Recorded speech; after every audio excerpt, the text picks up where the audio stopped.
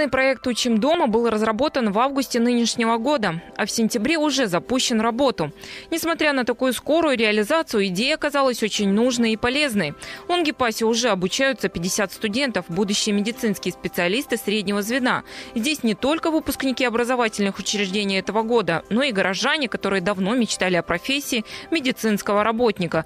К примеру, мать четверых детей Олеся Лещенко. Трое из них уже студенты. Теперь и мама пополнила их ряды. Ранее Олеся работала на почте, узнав о наборе в политехнический колледж на специальность сестринское дело, подала документы в числе первых. Тяжело совмещать. Не буду обманывать и говорить, как это легко.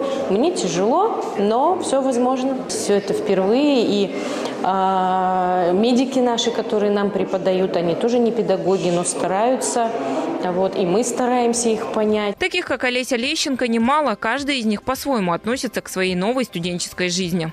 Но я давно на самом деле мечтала, просто не было такой возможности. Не было возможности ездить в Нижневартовск учиться.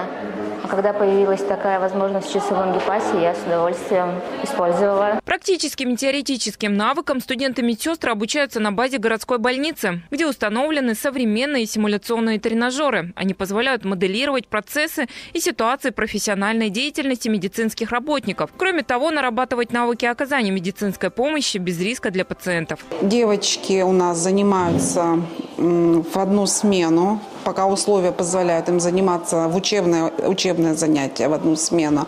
А в дальнейшем планируется учебная практика будет проходить в две смены.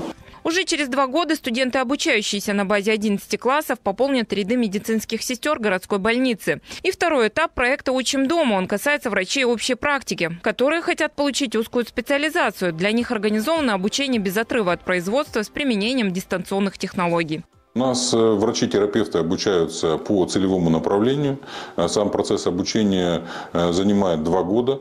И по истечении двух лет есть обязанность отработать еще в течение трех лет в Лангепасской городской больнице в рамках целевого направления. Данная идея разработана главным врачом Лангепасской городской больницы, депутатом окружной думы Александром Нохриным, при поддержке правительства Югры и Департамента здравоохранения Ханты-Мансийского округа. Свою заинтересованность показала и руководство Лунгипас нефтегаза. Нефтяники постоянно поддерживают развитие медицины в городе. Совместно с властями округа в жизнь воплощаются масштабные проекты. Так, только за последнее время на средства, выделенные по соглашению между правительством Югры и компанией «Лукойл», создана ПЦР-лаборатория. Недавно после капитального ремонта открылся операционный блок. Все эти преобразования в медицине и, конечно, подготовку кадров высоко оценивают специалисты из других городов.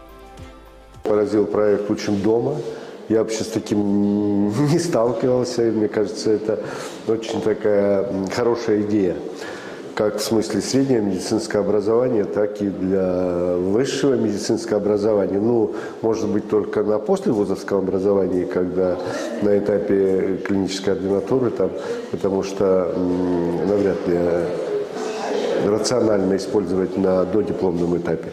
Но вообще очень хорошая идея. Сегодня проект реализуется не только в Лангепасе, но и в соседнем Радужном. Успешный опыт тиражируется и на другие города Югры.